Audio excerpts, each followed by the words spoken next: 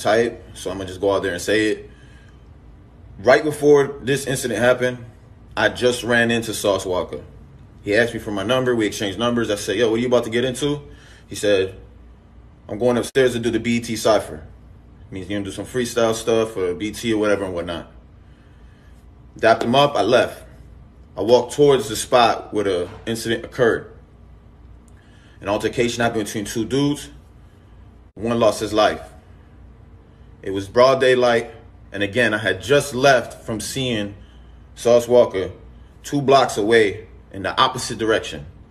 Later that night, when he asked me for the video, I assumed it was because he didn't want to go through like the screen recording to have to share it with someone, a friend or something, maybe show his boys.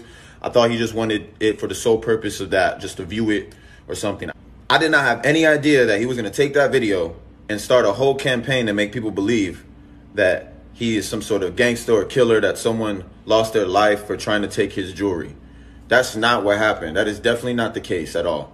This guy was not a bad person, first of all. From what I heard from the family, he attended college, he was a business owner, and he was he was a ladies' man.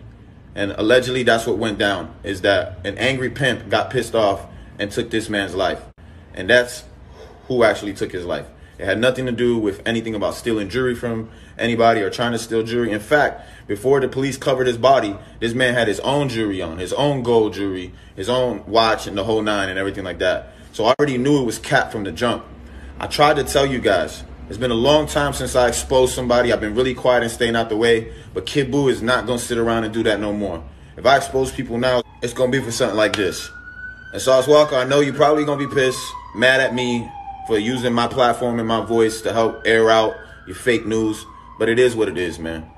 I, it's not bad, but I can't respect the integrity of a man's character for doing something like that.